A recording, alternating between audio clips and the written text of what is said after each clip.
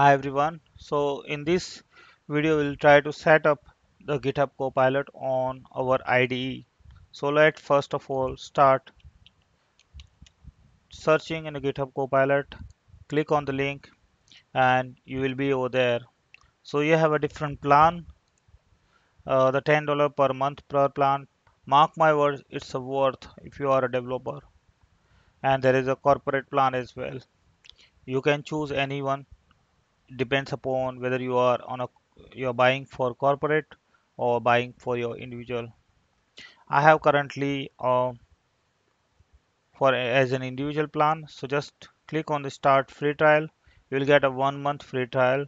Because i already bought so it is not asking me all the information. But first time whenever you try to buy it will ask you for a credit card information and a little bit more information then you can start. Currently if I go into the billing my the next payment would be on June 26th that before a week that I have bought.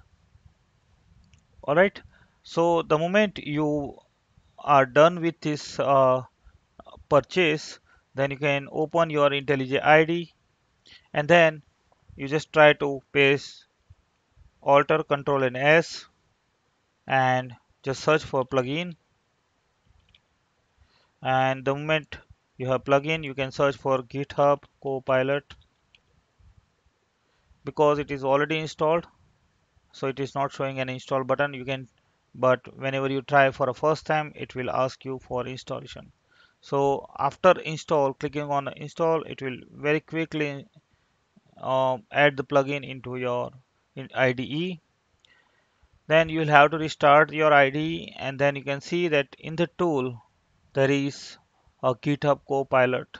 You just log in into the GitHub Copilot and the moment you log in you will see the side panel called GitHub Copilot here nearby Maven and the moment you start writing the code you can either take the refresh or either you can write a comment that what you want to do in a human language or you just start typing anything and GitHub Copilot will try to give you suggestions.